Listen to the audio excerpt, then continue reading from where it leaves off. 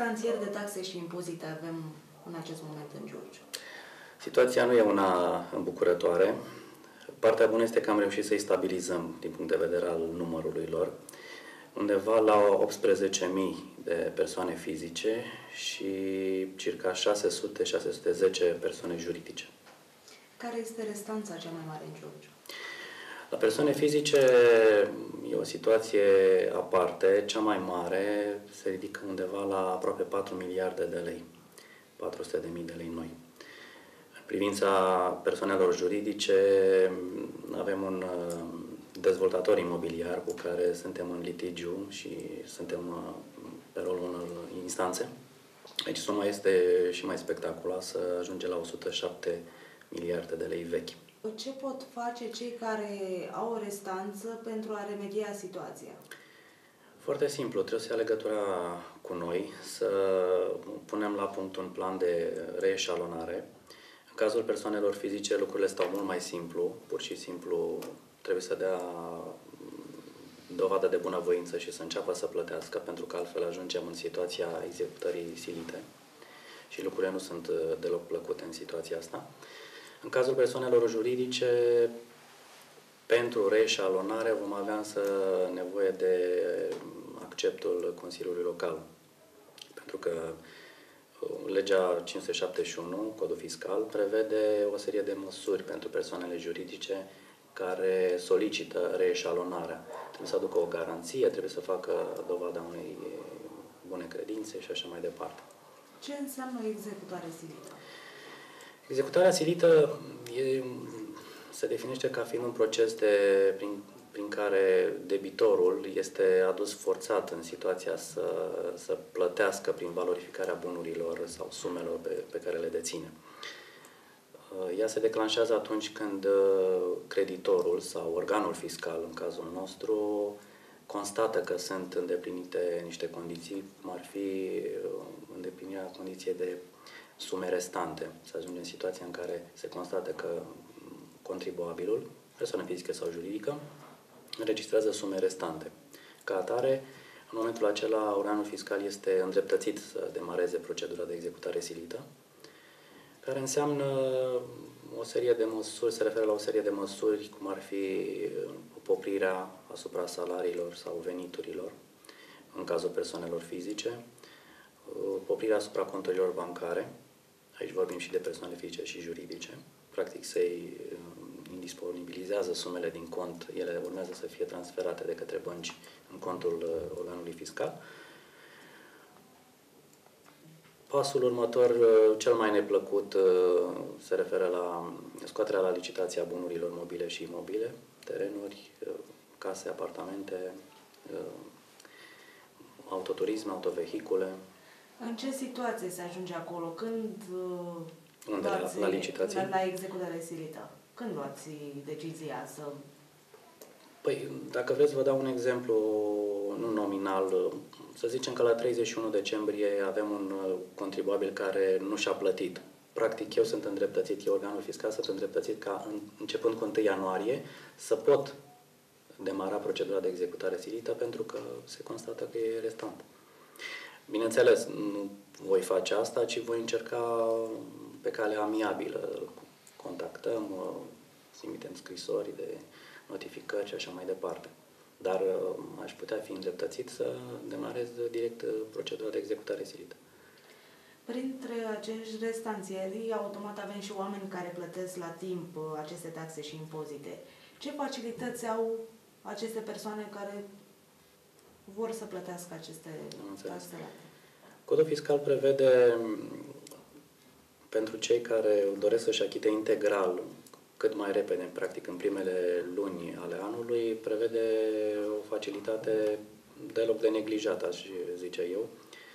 Pentru cei care doresc să-și achite până la data de 31 martie, acesta prevede o bonificație de 10%, deci practic o diminuare a valorii impozitelor cu 10% și e valabilă acordarea ei și pentru persoanele juridice și pentru cele fizice. Deci cei care doresc să-și achite integral o pot face, li se diminuează impozitele cu 10%. impozitul în 2013 a suferit anumite schimbări sau a rămas același ca în 2012? La Giurgiu, spre deosebire de alte localități, alte zone din țară, uh, impozitele nu numai că au rămas și vor rămâne la același nivel, chiar au scăzut, dacă ne referim la impozitele auto pentru autovehiculele, pentru contribuabili care dețin autovehicule cu capacitatea cilindrică de peste 1600 de centimetri cubi. Aici scăderea undeva a făcut o medie circa 5-6%. Asta conform unei uh, legi date de fostul Parlament la începutul uh, lunii noiembrie. Ce noutăți sunt pe 2013? Luni, la ora 12, vom uh, avea o ședință extraordinară a Consiliului Local pentru a ne pune în concordanță cu reglementările recente din punct de vedere fiscal.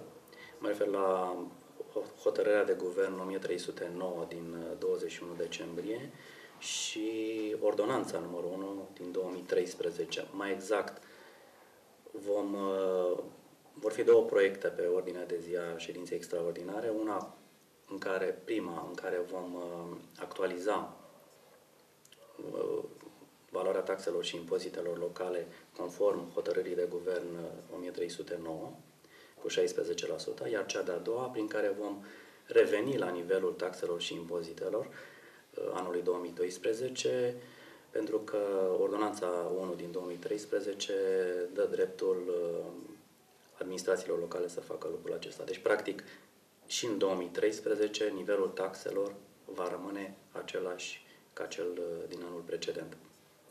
De altfel, din experiența ultimilor patru ani pot să vă spun că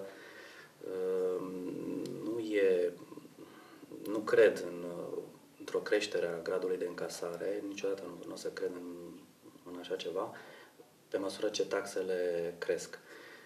Uh, mai degrabă o, o, întărire a, o întărire a disciplinei financiare poate să ducă la o, la o, la o creștere a gradului de încasare.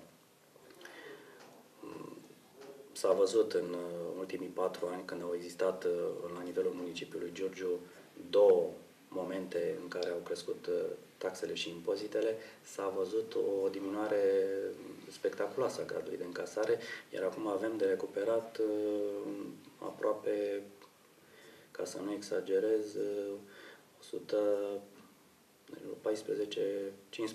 114-15 milioane de lei vechi, adică vreo 150 de miliarde de lei uh, vechi. Ca atare, e invers proporțional. Crește nivelul taxelor, scade gradul de încasare. Niciodată nu, nu se va mulțumi o administrație locală cu sumele încasate dacă acest nivel al taxelor uh, vor crește. Pentru că e normal. Pe măsură ce împovărezi contribuabilul, el va plăti din ce în ce mai puțin. Ce s-a întâmplat cu încasările pe măsură ce taxele au crescut în ultimii ani?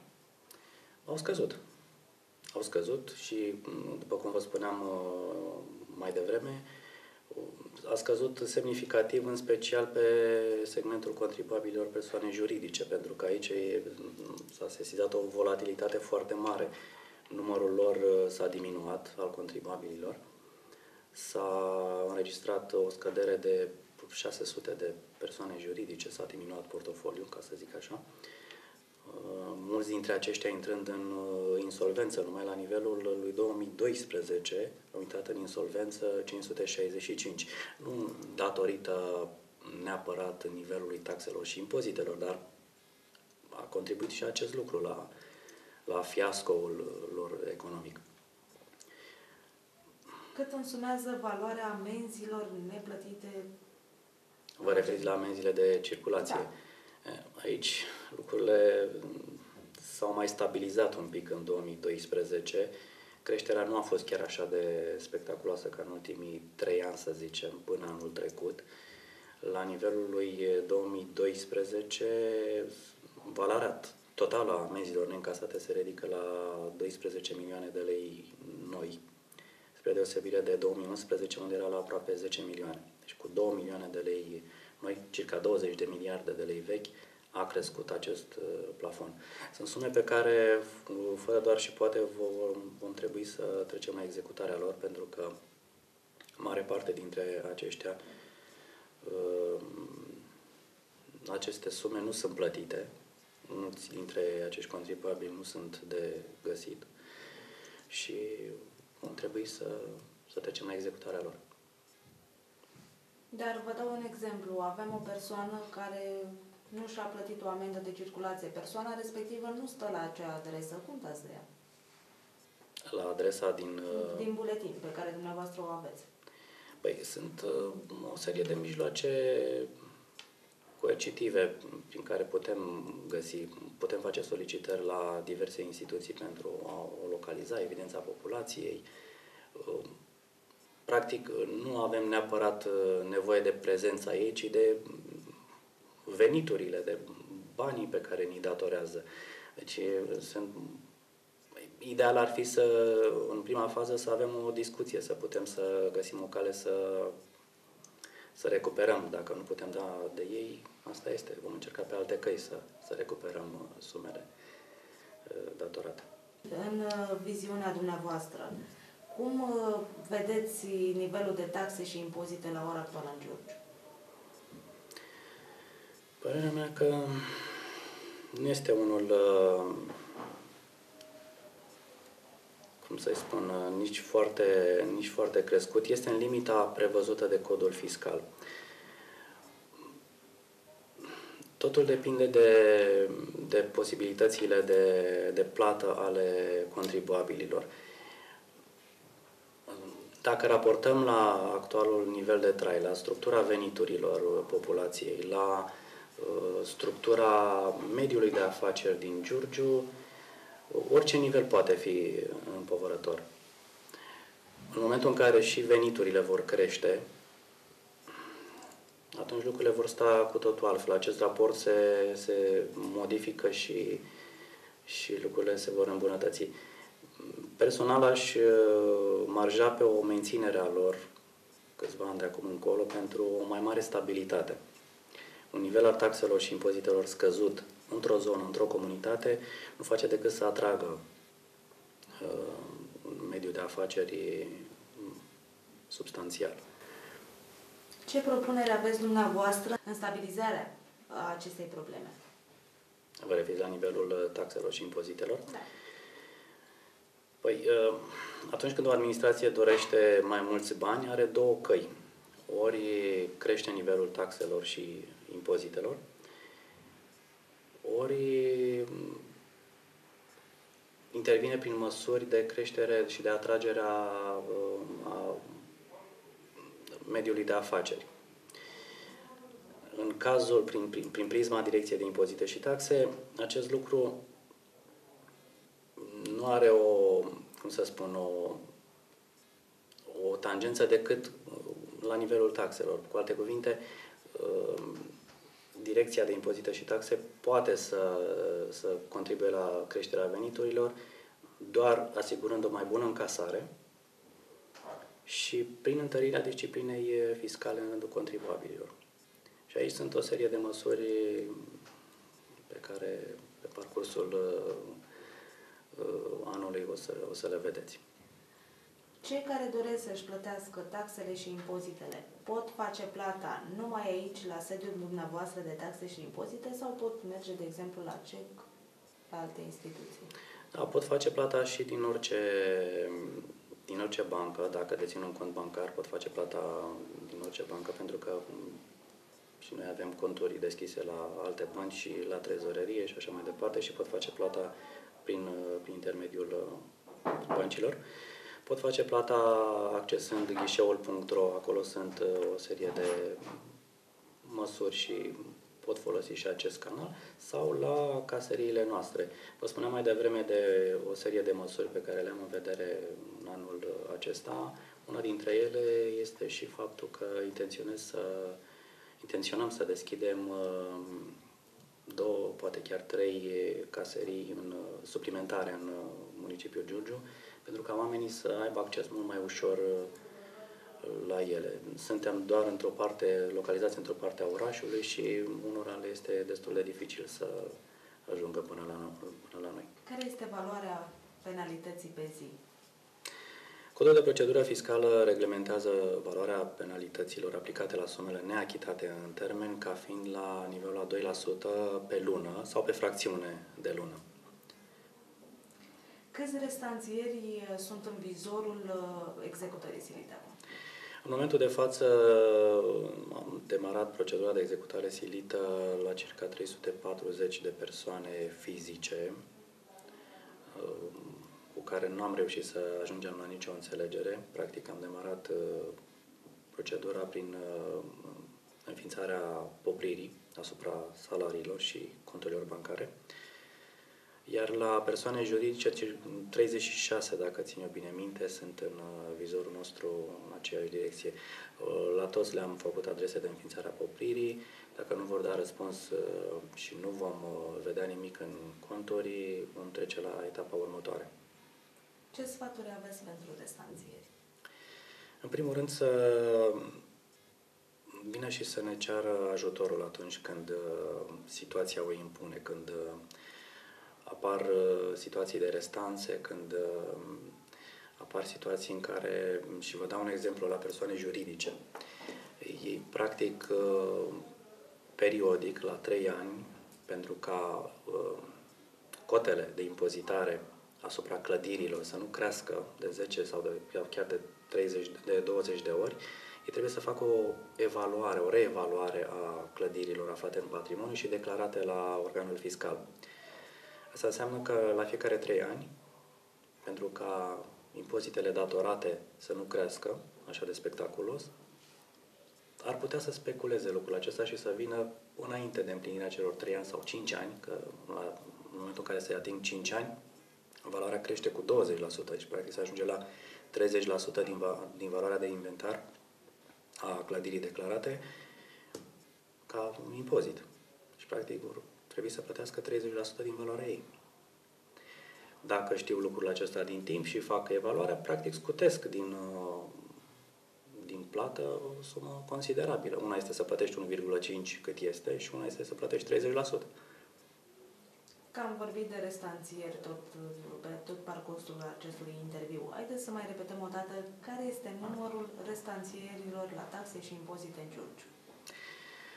La persoane fizice sunt undeva în jur de 18.000, dar din experiența anilor precedenți am văzut că în primele luni numărul acestora scade semnificativ. Deci probabil că vom ajunge la sfârșitul lunii ianuarie undeva pe la 16-15 mii. Oamenii încep să vină să plătească și află și de restanțele care, pe care le au. La persoane juridice sunt undeva la 609 persoane la fel, numărul acestora scade undeva pe la 400, ajunge la sfârșitul lunii ianuarie. Din punctul dumneavoastră de vedere, aceste cifre pe care mi le dați, semnifică ceva alarmant? E, înseamnă ceva... Mm, sincer, comparativ cu anii precedenți, lucrurile mențin o, se mențin la un anumit nivel, deci există o constanță. Pe de altă parte, dacă ar fi să mă alarmeze ceva, mă alarmează mm, intrarea în insolvență a multor uh, companii locale, multor firme locale. Numărul acestora a crescut anul trecut de la 500 și ceva, 502, 503 în 2011, în 2012 a crescut la 565. Practic, o administrație locală prea puțin se sprijină pe impozitele și taxele de la populație, de la persoanele fizice. Mare parte din impozitele locale sunt aduse de companii, de firme. Vă imaginați ce înseamnă o scădere atât de bruscă, ținând cont că nici numărul lor nu este foarte crescut în municipiul Giurgiu. Undeva la 1900-2000 de persoane juridice brusc să pierzi 500, practic un sfert, uh, încasarea se duce foarte jos și asta se resimte și în proiectele administrației locale și așa mai departe, în, uh, în cotele defalcate de la bugetul central, în mai multe lucruri se resimte.